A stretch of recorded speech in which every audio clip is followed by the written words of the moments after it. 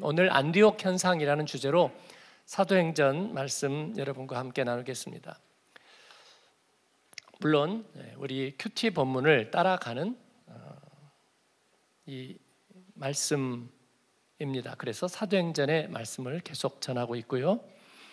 사도행전의 이야기는 첫 그리스도인들의 이야기입니다. 그러면서 동시에 우리를 포함한 온 세상 그리스도인의 이야기. 그게 사도행전의 이야기입니다. 제가 침소봉대하는 것이 아니고 어, 진짜 그렇습니다. 어, DNA적이기 때문에 그래요. 예, 작은 이야기는 모든 큰 이야기를 내포하고 있고 그 큰 이야기 안에는 핵심적인 분명한 동기들이 그 안에 역시 포함되어 있습니다.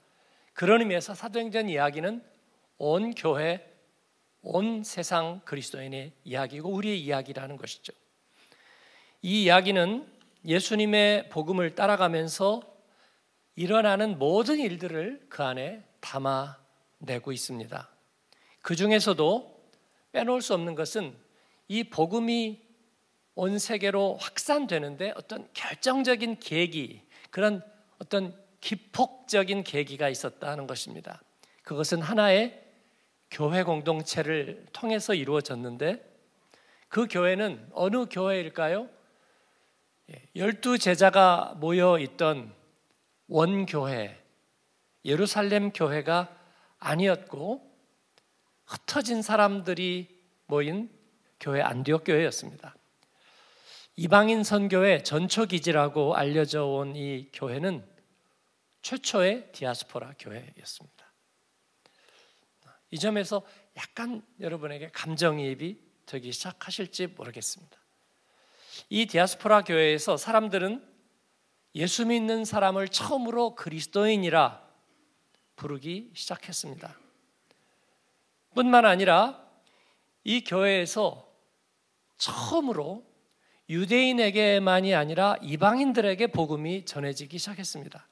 정확히는 헬라인들에게 복음을 전하기 시작했습니다. 그리고 이 교회에서 예수님의 그 명령을 따라서 이제 어, 위대한 복음 전도자들을 파송해서 1세기에 로마 제국의 전역으로 복음이 확산되기 시작했습니다. 어, 얘기한 중간에 여러분 잊어버리셨겠지만 어, 대충 들어도 위대하지 않습니까? 예. 한 디아스포라 교회 공동체가 이런 위대한 일을 한꺼번에 했다는 것은 참으로 대단합니다. 그런데 자세히 살펴보면 하나도 대단하지 않습니다. 어, 제가 어, 사도행전과 이 누가의 기록을 사랑하는 이유는 바로 이 점 때문입니다. 그는 과장할 필요가 없고 조금도 조금도 과장하지 않습니다.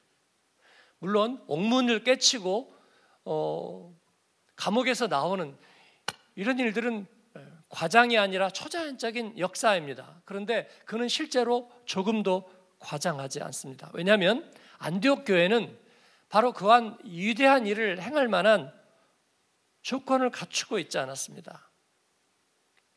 안디옥 교회는 예루살렘 교회가 예루살렘의 그리스도인들이 이제 박해를 받기 시작하는데 그 박해를 피해서 예루살렘을 탈출해 온 몇 사람이 이르러서 시작된 것이 이 안디옥 교회입니다. 누가는 그렇게 얘기합니다. Some of them. 박해를 피해서 흘러온 사람 그 몇 사람 여러분 썸이 몇이나 될까요? 천 명? 이천 명을 썸이라고 하는 사람도 있어요? 아니요, 그야말로 서너 명입니다. 서너 명. 아마 두세 명, 그죠? 예. 그렇게 얘기하고 있고요. 그리고 이제 교회가 아, 그들이 복음을 전하면서 어, 예수 그리스도를 믿는 사람들, 예수를 주로 십자가에 못 박힌 예수 그리스도가 우리의 구원자라는 것을 믿어지게 되는 사람들이 생겨나서 이제 교회를 갖추게 됐는데 그 교회를 대표하는 사람이 얼마나 됐는가? 고작 다섯 명 정도였습니다. 게다가 그 다섯 명이 아주 가지각색이었고요. 내세울 만한 사람들은 없었고 심지어 흑인도 끼어 있었습니다. 이건 제가 인종차별적인 뜻에서 흑인도라고 말한 것은 아니고 당시의 시대상에서 교회를 대표하는데 말이죠. 여러분 19세기까지 서구의 교회가 인디언은 영원히 없다고 믿고 있었습니다. 정말입니다. 소나 양 같은 존재로 생각했다 그 말입니다. 그런데 1세기에 처음 그리스도 교회에 니게르라 하는 시므온 예, 분명히 이건 니거를 말하는 겁니다.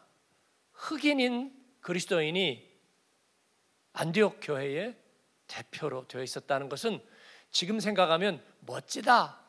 그런데 당시를 생각하면 후지다.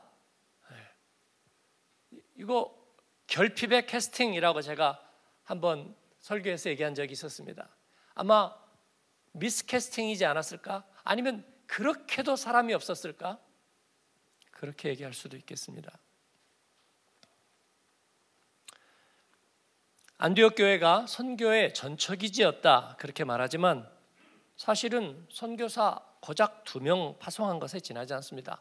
바울과 바나바 두 명 파송한 것에 지나지 않습니다. 게다가 이 작은 교회 어, 제가 처음에 터키 성지 순례를 우리 교인들하고 갔을 때 벌써 한 15년 이상 전일 것 같아요. 15년? 예, 거의 20년 가까이 될 것 같습니다.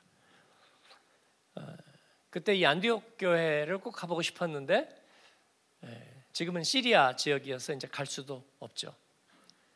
근데 그 근처에 뭐가 아무것도 없어요. 보통 성지 순례를 가면 이번에도 우리가 제자 많이 가겠지만 뭐 중부 지방에 있는 지금의 터키죠 갑바도키아라든지 그다음에 대부분 어, 서부 해안 지역에 있는 소아시아 일곱 교회 뭐 그쪽으로 이렇게 가게 되는 거예요. 그런데 완전히 동쪽으로 이스라엘 가까이까지 가서 시리아 안디오까지 가려면요 하루를 왼종일 가야 되고 비행기를 또 따로 타야 되고 그리고 다시 거슬러 오는데 한참을 차를 타고 거의 대륙횡단처럼 건너와야 됩니다. 그런데 그 안디옥 교회를 그렇게 해서 찾아갔는데 안디옥 교회라는 자취도 없어요. 그냥 여기였을 것이다라고 얘기하는 게 남아 있는데 그 옛 자취를 찾아다니는 사람들에게 뭐 관광객도 거의 없어요. 그런데 그것은 동굴 교회였습니다. 동굴 교회. 기독교 역사, 아니 세계 역사에서 기폭제 역할을 했던 그 안디옥 교회는 그냥 동굴 교회였을 것이다 라는 거예요.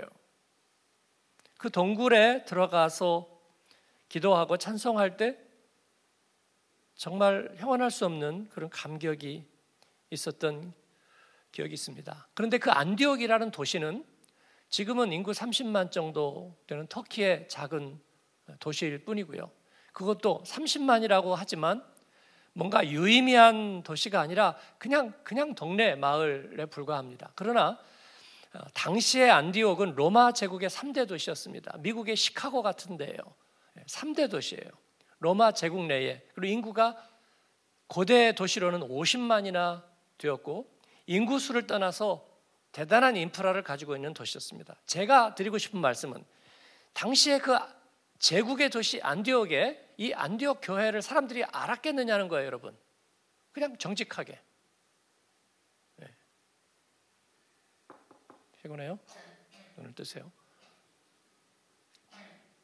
제 얘기는 몰랐을 거라는 거예요. 거기다 99.9% 자신할 수 있어요. 몰랐을 거라는 겁니다. 안디옥 교회 그리스도인들이 모이는 교회라는 걸 알고 있어요?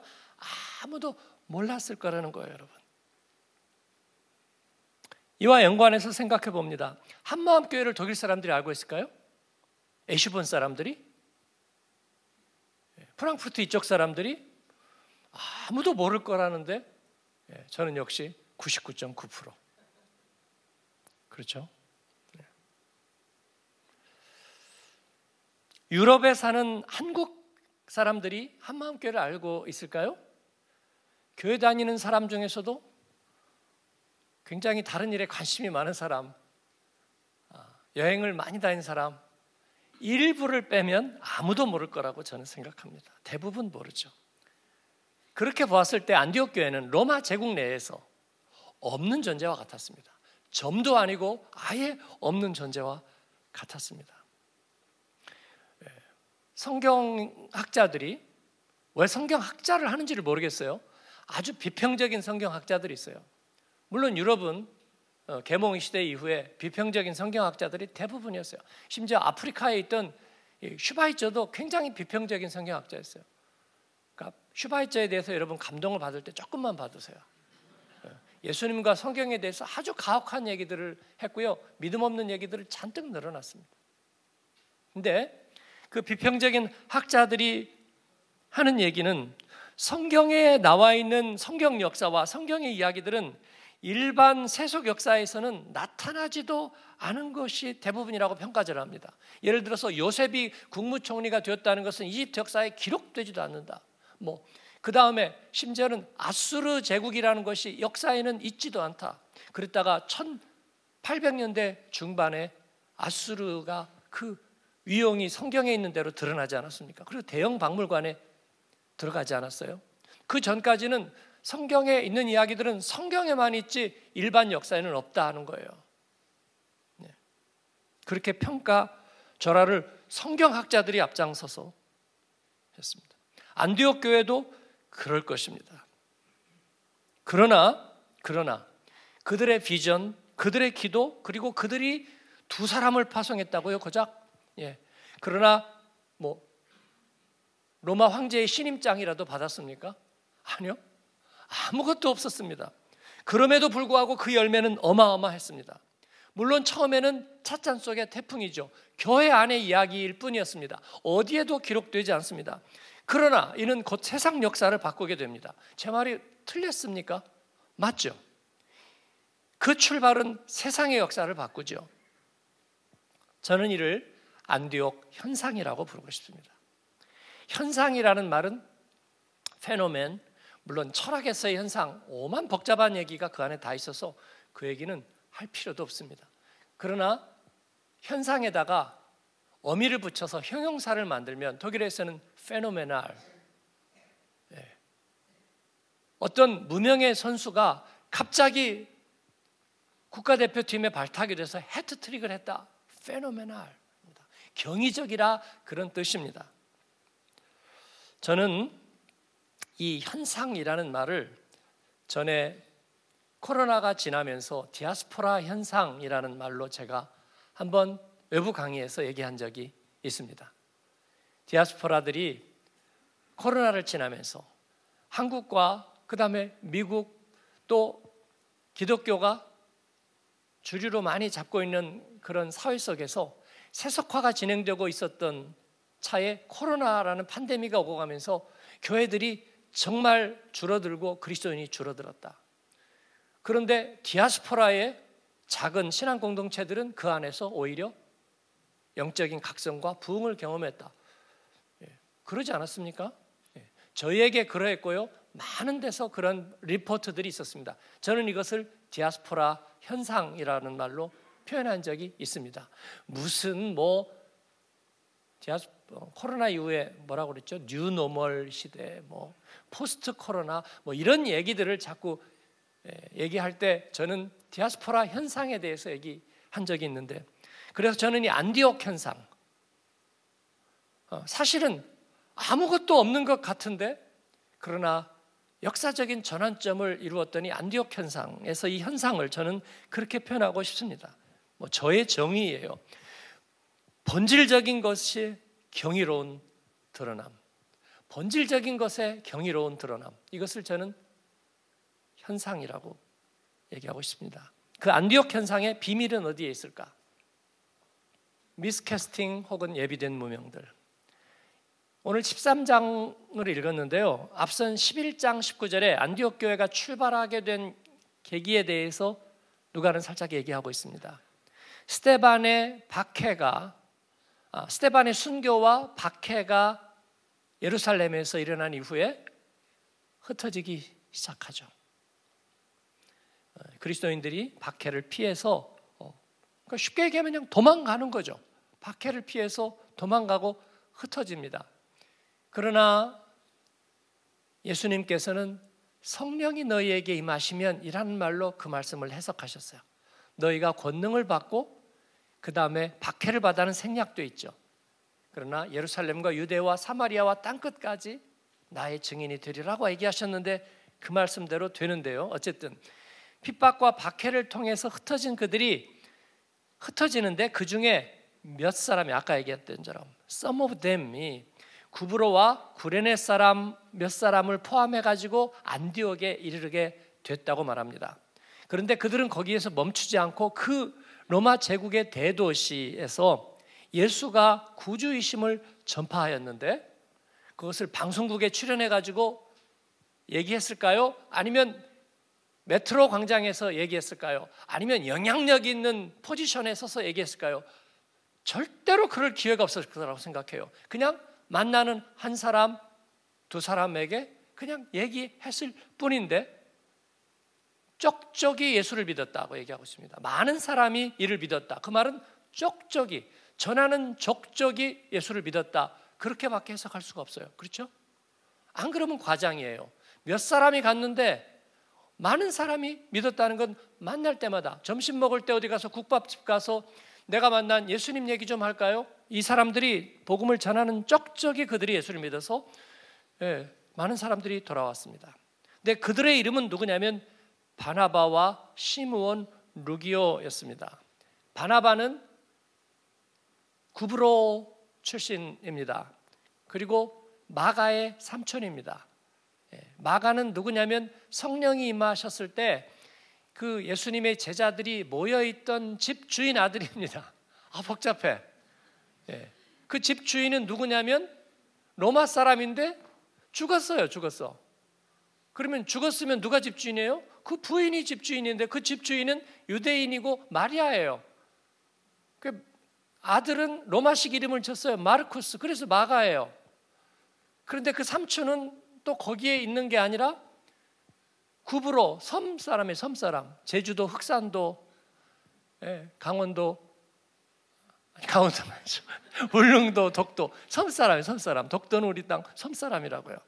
예, 구부로 예, 지중해에 있는 섬이에요. 그런데 아시아, 아프리카, 유럽 사이에 절묘하게 있는 섬이 구부로라는 섬이고 예, 바나바는 거기에서 예, 온 거예요. 와가지고 오순절에 오순절 지키러 왔다가 거기에서 성령을 경험해 버려요. 예수 그리스도의 복음을 받습니다. 그리고 얘기하다 보면 시간이 가는데 시므온은 어디 사람이에요? 얘는 구레네 사람. 구레는 어디예요? 아프리카, 북아프리카, 리비아의 트리폴리가 구레네예요. 거기서 왜 와 여기를? 아, 기가 막히죠. 그가 왜 오느냐면 그도 바로 유대인과 연관을 가지고 있기 때문에 그래서 거기에서 오는데 그냥 올 수가 있는 거리가 아니에요. 1300km. 지금의 튀니지의 카르타고, 한니발의 그 유명한 카르타고를 지나서 또 이집트의 고대 도시 알렉산드리아를 거쳐서 거기서 배를 타고 지금의 어디예요? 어, 이스라엘의 수도 예루살렘이 수도예요. 테라비브. 예, 요빠 예, 이스라엘의 요빠까지 배를 타고 와서 왔던 게 예, 시므온이죠 구레네 사람. 그런데 다른 데서는 얘기를 하지 않고 있는데 사도행전에서는 그가 니게르 흑인이라고 말하고 있어요. 그냥 순수 흑인은 아니고요 섞였어요. 예. 아마도 그 북아프리카는요 고대 로마 제국에서 굉장히 중요한 역할을 지중해했잖아요. 그래서 한니발도 역시 그 사람들은 그래서 아마 이 구브로 출신이었던 시몬은 혼혈이었을 거라고 생각해요. 예, 로마의 피가 섞인 혼혈. 그래서 그 두 아들은 알렉산더와 루포라는 로마식 이름을 지어줬어요. 그를 통해서 볼 때 우리가 느낄 수 있는 것은요, 아, 그들의 인생 유전이 참으로 복잡하다. 네? 그들의 인생 유전이 참으로 파란만장하다 그런 거예요. 그런데 그들이 와서 역시 이 시므온의 인생은 더 기구합니다. 그렇게 먼 길을 와서 예루살렘까지 왔는데 예루살렘 시내에서 이제 유월절 지키고 그 다음에 장 보려고 룰루랄라 가다가 어느 사거리를 돌다가 어느 한 행렬을 만나버렸습니다. 그게 십자가를 진 예수님입니다. 비아 돌로로사 고난의 길을 골고다까지 가는 예수님이 더 이상 지쳐서 더 이상 힘이 없어서 쓰러져 버렸을 때 구레네 시몬이 체격이 건장하고 튼튼해 보였는지 로마의 장교가 네가 이 십자가를 대신지라. 거기서 그는 예수님을 만나버린 거. 우린 예수님을 만났다는 것은 신앙 체험했다, 영적으로 만났다, 말씀을 통해서 만났다. 그런데 그는 진짜로 만나버린 거예요. 육신으로 만나고 영으로 만나고. 그런데 여러분 또 기구한 것은 무엇입니까? 그들은 그렇게 그리스도인이 되고 오순절에서 성령을 체험할 때 그들도 역시 같이 있었습니다. 마가, 바나바, 그리고 구레네 시몬, 그리고 여기에만 나와 있지만 역시 구레네 사람, 이 시몬과 같이 온 사람 같아요. 루기오라는 사람도 역시 오순절에서 성령을 같이 받았는데 그런데 정말 성령 같이 옆에서 받아놓고도 몰랐을 거예요. 그죠? 야고보 요한이 저 시커먼 애 누구야? 어, 그 예수님 십자가 아 맞다 맞다. 근데 그 옆에 걔는 누구야? 그 친구. 어 그래? 근데 왜 막 방언하고 난리야? 그냥 쟤도 성령 받은 거지 뭐. 이름이 뭐라고? 루 루가 아니 루기온 있다 그래. 아마 그 정도였을 거라고 저는 생각해요. 그죠? 그런 사람들이 여기에 안디옥에 가게 됐다는 거예요. 근데 그들이 왜 안디옥에 갔냐? 믿음이 좋아서 아니죠. 박해가 이루어질 때 예루살렘에서 추방하는데 제일 먼저 추방하는 사람들이 누군지 아세요? 거기에 적이 없는 사람들이에요. 예? 니들은 또 뭐야? 어, 그냥 여행 왔는데요. 가. 그래갖고 그들이 제일 먼저 추방당하고 핍박을 받는 거예요. 그래서 그들은 그렇게 정처 없는 인생들. 그러나 이것이 안디옥 교회의 시작이 되었습니다. 그 중에는 마나엔이라는 사람은 헤롯의 젖먹이 동생 그게 무슨 말이에요? 네? 헤롯 대왕의 아들들이 있었는데 그 중에 헤롯 안티파스 그 악명 높은 헤롯 안티파스의 젖먹이 동생이라는 이복 형제라는 말. 여러분 당시에 권력의 암투가 얼마나 심했는지 헤롯 대왕은요 자기 부인을 둘이나 독살했고 아들 둘을 독살했어요. 믿지를 못하는 거예요. 그런데 그 왕의 이복 동생이라는 건 그냥 죽은 목숨이에요. 그 얘기는 근데 살아있다는 이야기는 정말 모자랐거나 예? 아니면 장애가 있었거나 정말입니다. 그럴 경우에는 살려뒀어요. 그렇지 않으면 유배를 보내죠. 아마 둘 다였을 수도 있어요. 뭔가가 정상적이지 않았거나 그래서 유배를 당해서 안디옥에 가 있는 헤롯의 이복 동생 그가 예수님을 만났어요, 여러분. 그리고 안디옥 교회의 리더가 되는 거예요. 은혜 되지 않으세요? 그리고 사울입니다. 예수님 믿는 사람을 박해하던 그가 개종됐는데 다시 예수님을 믿었는데 그는 거기 없었어요. 바나바가 역시 175km 다섯 해까지 2000m 아마노스 산을 넘어서 바울을 데리고 옵니다. 그렇게 해서 이루어진 것이 안디옥 교회였습니다. 무명의 예수 믿는 사람들, 무명의 그리스도인들, 그러나 그들의 인생의 기술을 복음의 길로 돌린 사람들입니다. 하나님은 그러나 그들을 미스캐스팅한 것이 아닙니다. 그들을 오래전에 예비하셨습니다. 복음의 역사에서 그런 사람들을 수없이 만납니다. 그들은 모두 다 예비된 인생들입니다. 오늘 우리가 이를 다시 한번 뜨겁게 가슴 뜨겁게 고백하고 싶어요. 저는 하나님 앞에 죄 종이 되겠다고 한 이후에도 끊임없는 이런 불신에 시달렸습니다. 하나님이 나를 미스캐스팅한 거니까 나의 자의적인 자의적인 선택 아니었을까? 예. 거기에서 끊임없이 시달렸습니다. 그러나 주님께서는 저를 캐스팅하셨고 또 여러분을 캐스팅하신 줄로 믿습니다. 예, 누가는 이것을 굉장히 담담하게 담담하게 그냥 지나치듯이 얘기하고 있지만 그러나 divine time 하나님의 시간에 divine place 하나님의 장소에서 하나님은 이 모든 것들을 예비하시고 그리고 성령을 통해서 이 모든 것들을 이루어 가신다는 것입니다. 할렐루야. 하는 데까지 하겠습니다. 두 번째는 나비 효과 혹은 필연적인 부흥. 사피엔스라는 베스트셀러를 쓴 히브리 대학의 유발 하라리 이름이 좀 근데 그는 역사 발전의 계기는 일종의 카옵스 법칙과 같다고 얘기한 적이 있습니다. 기독교가 번성하게 된 것은 기독교가 반드시 진리이기 때문은 아니라는 거예요. 그렇죠. 카오스 법칙은 그런 거죠. 콘스탄트, 콘스탄틴 황제가 기독교의 손을 들어준 게 나비 효과가 돼서 기독교가 많아졌을 뿐이다. 그렇다고 그게 인류의 덕이 된 것은 아니다. 만이교의 손을 들어줬으면 훨씬 나을 뻔 알았다. 하라리가 그렇게 얘기합니다.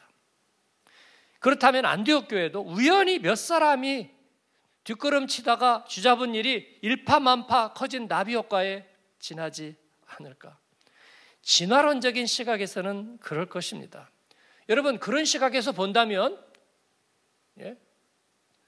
하마스가 언젠가는 세상을 지배할 수 있을지도 모릅니다. 네. 그들의 어떤 하나의 나비 효과를 통해서 하마스가 세상을 지배하고 그들의 가치관이 온 세상을 지배하고 세상은 살육과 테러의 끝이 될지도 모릅니다. 여러분 그렇게 생각하시나요? 아니요. 말씀드린 것처럼 스테반의 순교와 그 이후의 박해로 인해서 뿔뿔이 흩어진 예루살렘의 그리스도인 일부가 안디옥에 이르게 되었습니다. 그때까지 예수님의 제자들과 증인들은 유대인에게만 복음을 전했어요. 왜냐하면 소심하니까요. 그래도 하나님의 이야기를 아는 사람들에게 전달하려고 했던 거죠.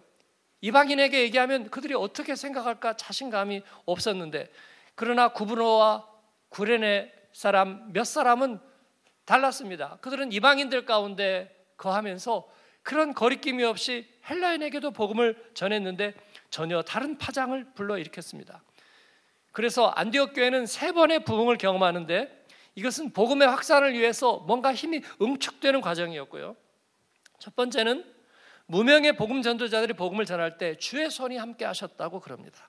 그래서 수많은 사람들이 믿고 죽게 돌아왔다. 아까 얘기했잖아요. 다이다이 전할 때마다 그냥 예수 믿어버려. 그 사람이 무슨 그 올림픽 금메달을 땄거나 아니면 엄청난 역경을 이겨낸 입지전적인 인물이어가지고 그가 강연하니까 사람들이 전부 다 설득이 되었다. 그런 이야기가 아니고요. 그럴 만한 깜냥이 안 되는 사람이 예수는 주의심을 전파하는데 마치 바이러스에 전염되듯이 저 사람이 믿어버려. 그런 이야기입니다. 주의 손이 함께 할 때 그렇습니다. 여러분, 제가 생각해 보니까 저나 여러분이나 우리 깜냥에 그렇지 않으면 예수를 전할 방법이 별로 없습니다. 직장에서 모든 걸 다 잘한 다음에 사장님부터 동료까지 다 설득시키겠다. 그런 적 있으면 한번 손 들어 보세요, 여러분. 그게 되느냐고요? 아니요, 그거 아닙니다. 예? 내가 예수라는 말도 하기 전에 내가 하는 행실을 통해서 저 사람에게 감동을 주겠다. 그게 되느냐고요? 물론 온유하고 눈물 나게 감동을 주고 모든 것을 잘하면서 전도할 수 있다면 좋겠는데 그러나 우리의 우리가 예수를 전하는 거예요. 아니면 예수님이 능력이 있는 거예요. 예수님이 능력이 있는 거다. 할렐루야. 예. 전도 많이 했던 우리들의 부모님들 그분들 완벽하지 않았어요, 여러분. 완벽하지 않았어요. 그럼에도 불구하고 그들은 하나님 앞에 쓰임 받았는데 그들이 복음을 전할 때 그들의 자격으로 한 것이 아니고 주의 손이 그들과 함께 하셨습니다. 두 번째는 성령과 믿음에 충만한 사람. 구브로 출신인 바나바가 복음을 자세히 전하는 양육을 통한 부흥이 일어났습니다. 그는 모든 사람에게 굳건한 마음으로 죽게 붙어 있으라고 권했는데 그 말은 오늘 우리식으로 얘기하자면 복음 DNA를 이식받아서 그 은혜와 믿음에 견고히 서 있으라. 그렇게 얘기하는 양육 원리와 같아요. 안 받은 분은 이게 무슨 말인가 할까 넘어가요, 넘어가, 넘어갑니다. 받은 분은 알 거예요. 그렇죠? 우리가 어떻게 거기에 견고히 서 있을까? 세 번째는 세 번째 부흥은 사울이 즉 바울이 다시 와서 바나바의 부름을 받고 와서 큰 무리를 가르치는 것입니다. 뭘 또 가르쳤을까요? 하나님은 이 바울에게 복음의 비밀을 깨우치시는 그런 계시를 주셨어요. 그가 아라비아 사막에서 그리고 다소에서 집거하면서 하나님은 그 자신 안에 예수 그리스도를 나타내기를 기뻐하셨습니다. 그래서 바나바는 성령의 조언을 따라 175km 떨어진 타우르스 산맥 그리고 아마노스 산을 2000m를 넘어서 바울을 데리고 오는 거예요. 삼고초려? 아니요. 그런 얘기는 절대로 누가는 쓰지 않고 있습니다. 설득해서 데려온 것이 아니고 성령의 인도하심을 따라 그를 데려옵니다. 하나님은 이 모든 것들을 예비하셨습니다. 그래서 이제 안디옥 교회는 그를 통해서 복음의 비밀을 알게 될 것입니다. 복음의 비밀을 어떻게 우리가 그리스도와 연합하는지, 그리스도와 함께 죽고 어떻게 그리스도와 함께 사는지, 하나님이 그리스도 안에서 우리를 향한 사랑을 어떻게 확증하셨는지, 어떻게 왜 우리는 그래서 그리스도와 함께 있으면 환란 중에도 기뻐할 수 있는지 바울은 얘기할 겁니다. 그리고 안디옥 교회는 이제 그를 서쪽 세상으로 파송할 겁니다. 로마의 서쪽 세상. 이 모든 것은 나비 효과, 나비 효과와는 거리가 멀었습니다. 영원하신 하나님께서 계획하신 것입니다. 하나님의 계획이라는 것은 설계자들이 그렇듯이 하나의 통합된 통합된 설계도가 있고요. 그리고 그 안에서 이제 하나하나가 맞춰져 가는 것입니다. 많은 사람들이 물어요. 하나님 뜻인지 뭔지 아느냐? 여러분, 저는 어마어마하게 큰 설계도의 한쪽 귀퉁인데 제가 어떻게 그 설계도를 다 알겠습니까? 분명한가 다라는 설계도가 있고 나는 그 설계도에 빠질 수 없는 일부분이라는 것입니다. 나는 거기에 충실할 겁니다. 작가의 의도에 충실할 겁니다. 그리고 그 전체의 그림이 연합될 것을 믿습니다. 하나님께서 소원을 주실 때 어떤 이들은 그래요. 소원을 주실 때 마음으로 힘들다고 말해요. 이건 오랜 습관이에요. 여러분 저는 짜장면 먹으러 가면서 마음이 힘들어 본 적이 한 번도 없습니다. 문을 닫았을까 그게 걱정되지. 예. 스파게티를 먹으러 가면서 힘들어 본 적이 없어요. 예. 좀 불어도 좋아. 불으면 집밥 같이 먹는 거고요. 쫄깃쫄깃하면은 예 뭐라고죠? 점수 매기는 식당? 미슐린 식당이라고 생각하면 먹으면 되고 그런데 마음이 힘들어. 스파게티 먹으러 가는데 아, 이게 무슨 시련일지도 몰라. 왜 내가 이걸 먹어야 되지? 마음이 힘들어. 그런 사람은 아무도 없어요. 그런데 하나님께서 주시는 소원을 가지고 갑자기 마음이 힘들대요. 우리는 그런 사람 없습니다. 어떻게 될까 두려워하지 않습니다. 목사님들께 제가 교회에 엔진을 달아드려요. 그래서 제자 훈련을 얘기하는데 높아심이 한 보따리예요. 그래갖고 교회가 일치가 깨지면 어떡하죠? 양육받은 사람과 그렇지 않은 사람이 층이 생기면 어떡하죠? 그리고 어떤 자격을 먼저 하죠? 나이 든 분들은 해야 되나요? 교회를 힘들게 하는 분들도 그걸 받으면 변화될까요? 어우, 높아심도 많아.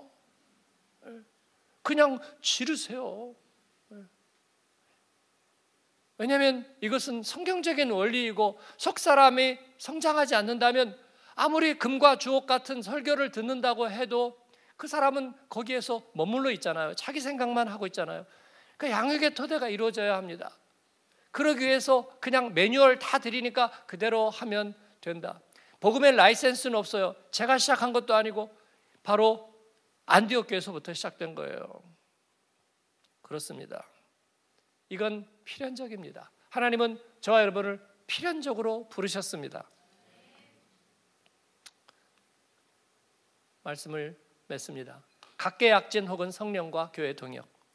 안디옥 교회 사명은 복음을 로마 세계를 향해 쏘아 올리는 일이었습니다. 이는 인류의 가슴에 예수 그리스도의 좋은 소식을 전하는 일. 그런데 이는 제국의 군사력, 영토의 확장 같은 방식으로 이루어지지 않았습니다. 이게 무슨 말이냐고요? 힘으로 뭔가 영향력을 나타내는 것은 아니라는 말입니다. 그러면 철학이나 사상을 전파하는 일, 그것은 설득을 통해서 하는 것입니다. 그런데 그것도 아니었습니다. 그래가지고 될 일이 아닙니다. 그래서 제국이 전파할 때는 사상도 같이 갑니다. 제국을 타고 가려는 거죠.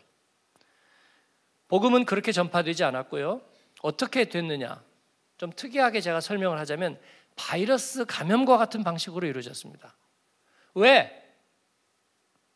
다이다이 이루어졌느냐고요. 왜? 쪽쪽이 이루어졌느냐고. 한 사람에게서 한 사람에게 이루어졌느냐고요. 우리는 그렇게 얘기합니다. 복음은 한 생명의 산 생명으로라고 얘기합니다. 그건 뭐냐면요. 바이러스 방식입니다. 감염된다는 거예요. 사람이 사람을 만나야 감염돼요. 그런 것처럼 감염이 되는 거예요. 남편은 아내를 만나서 저게 예수에 미쳤나? 교회에 홀렸나? 왜 저렇게 왜 저렇게 이상해졌나? 어? 요즘 마음이 힘들더니 교회 가서 미혹을 당했나? 그런 거예요. 그리고 그 실체를 보게 되면 거기에서 감염이 되는 거예요. 감염이 되는 거예요. 예? 우울했던 너가 자신에 대해서 그렇게 부정적이던 내가 왜 마음이 밝아졌는지, 왜 긍정적으로 생각하는지, 왜 옛날 얘기만 하던 사람이 갑자기 비전에 대해서 얘기하는지, 뭐가 달라졌는지, 바로 그것에 감염되는 거예요, 여러분. 한 사람에게서 한 사람에게로. 설득의 방식이 아니라 감염 내지 이식의 방식이에요. 이게 생명의 원리를 말해주고 있어요. 꽃씨가 날아서 가서 설득합니까? 꽃씨가 날아서 가서 힘으로 지배합니까? 아니죠. 생명이 생명을 심을 뿐입니다. 감염되듯이. 바울과 바나바는 성령의 부르심을 받았고요. 2절에 성령이 이르시되 바울과 바나바를 따로 세우라 하셨습니다. 4절에 두 사람이 성령의 보내심을 받아라고 말씀하고 있습니다. 여러분도 그렇게 얘기하시겠습니까? 성령께서 나를 부르시고 파송해서 나는 지금 여기 있습니다. 할렐루야. 아니면 믿음은 그냥 뭔가 뭔가 잡으려고 잡으려고 보일 듯이 보일 듯이 보이지 않는 뭔가 그런 것일 뿐이고 나는 인생 유전에 의해서 힘들게 여기까지 왔다. 그렇게 말하고 싶으십니까? 그러면 우리 신앙 공동체는 뭡니까? 언제 깨어질지 모르는 그냥 불완전한 조합일 뿐이죠. 안디옥 교회는 그러지 않았습니다. 그리고 지금 우리는 그렇지 않습니다. 그들은 성령의 인도하심을 받아 자의적으로 임의적으로 그냥 프리랜서로 뭐 여러분이 어떻든지 나는 기도하고 말씀 묵상하다 보니까 은혜 받아서 내 맘대로 가겠어요. 그런 게 아니고요. 성령이 그들을 개인적으로 감동시키셨을 뿐만 아니라 교회를 통해서 명하셨습니다. 성령과 교회의 동역입니다. 페러처치 무브먼트들이 대학생 선교 단체들이 그리고 개인적으로 말씀을 받고 성령을 체험한 이들이 선교사가 되고 그렇게 해서 뿔뿔이 흩어졌는데 그들이 다시 교회로 돌아옵니다. 왜냐하면 이것은 개인의 사역이 아니란 것이 분명해졌기 때문입니다. 성령과 교회의 연합, 사도행전의 정신입니다. 우리는 이 정신을 따릅니다. 지난 주간에 3040 캐나다 어, 미주 예, 목회자 세미나 그리고 그분들이 말씀 전하는 집회를 행하면서 그 목사님들에게 많은 위로와 격려가 되었고요. 그리고 또 저와 우리 교회가 많은 긍정적인 피드백을 받았습니다. 제가 그거 좀 전해드리겠습니다. 그냥 대접받았으니까 이 빠른 얘기인지 아닌지는 여러분이 판단하십시오. 예. 그, 그 교회들이 아주 작은 교회들이 아니에요. 그 중에 몇 교회는 우리 교회보다 훨씬 큽니다. 그죠? 네. 아틀랜타에 있는 세 교회는 제가 봐도 우리 교회보다 훨씬 커요. 어, 근데 그 목사님들이 예, 얘기하면서 그런 얘기를 했어요. 축복성을 할 때 너무 은혜가 되었습니다. 우리도 사실은 축복성 열심히 합니다. 그런데 축복성을 부를 때 정말 축복하는 마음을 보았다고요. 진짜로 축복하는 마음을. 제가 자꾸 얘기하잖아요. 눈을 보세요. 어, 정말 손을 내밀어 주세요. 근데 진짜 축복하는 마음이 느껴지고 축복하면서 눈물 흘리는 분들이 여럿 있었다. 예, 거기에서 굉장히 굉장히 약간 충격적인 약간의 차이인데 또 섬김에서 예, 물론 웃으면서 잘 서빙하는 예, 그건 어느 정도까지는 손님이니까 훈련해서 할 수 있어요. 근데 거기에서 자원하는 마음을 느낄 수 있었다. 그렇게 얘기합니다. 또 예배를 드리는 성도들에게서 정말 사모하는 분위기를 느낄 수 있었다. 그러면서 안선홍 목사님이 그렇게 얘기했어요. 어떤 얘기라도 하더라도 다 받아들일 것 같은 그런 느낌을 가졌다. 여러분 이건 좋은 얘기 아니에요? 예? 뭐 성경을 구절구절 풀어가든지 아니면 어떤 성경 딱 덮어놓고 그냥 주제만 계속 얘기하다 끝나든지 아니면 어떤 얘기를 하든지 이 공동체는 그것을 얼마든지 받아들일 수 있는 그런 것 같은 느낌을 받았다. 그건 어, 최고의 찬사라는 생각이 들었습니다. 여러분 주님께서 하셨습니다. 그건 성령께서 여러분 한 사람 한 사람을 부르시고 그 안에 복음을 심으셨기 때문에 가능한 일이고 그리고 이를 우리에게 교회 삼으셔서 하나님과 그리고 열방과 다음 세대를 향해서 이 복음의 확산을 주님께서는 준비하고 계시는 거라고 믿습니다. 여러분, 우리는 감히 그렇게 얘기하고 싶습니다. 안디옥 교회처럼 우리는 현상입니다. 디아스포라 현상, 한마음 현상입니다. 그리고 여러분은 현상입니다. 본질적인 것에 경이로운 것이 드러날 것입니다. 주가 예비하신 것이 경이롭게 드러날 것입니다. 우리의 자녀를 통해서 그렇게 되실 것입니다. 개업 예배를 어제도 드렸는데 제가 그 얘기를 했습니다. 그냥 어찌다 보니까 교회 다녔고 어찌다 보니까 순회 들어갔고 어찌다 보니까 일을 좀 하게 돼서 교회 다니다 보니까 그냥 잠깐 예배 드리고 시작하는 거예요. 그러다 보면 잘 될 수도 안 될 수도 있고 그러다 보면 바빠지면 교회도 좀 못 나갈 수도 있고 여러분 그런 일은 우리가 세상 속에서 너무나 너무나 너무나 우연처럼 경험하는 것 아닙니까? 그러나 우리는 그렇지 않다는 거예요. 하나님께서 우리를 캐스팅하셨고 우리를 한 많은 인생 그러나 우리를 여기까지 인도하시고 우리 안에 복음을 심고 성령을 부으셔서 하나님은 이를 통해 기대하는 일이 있으시다는 거예요. 나는 그 일을 이루기를 원합니다. 그런 이들에게 복이 있을지어다. 할렐루야. 하나님께서 저 여러분 복 주시기 바랍니다. 아멘. 기도하겠습니다. 하나님 그렇게 현상으로 쓰임 받고 싶습니다. 내 안에 주신 복음 생명으로 전염시키고 드러내며 그렇게 살겠습니다. 그런 분 일어나서 응답하면서 기도하십시다. 같이 한번 주여 부르고 기도하겠습니다. 주여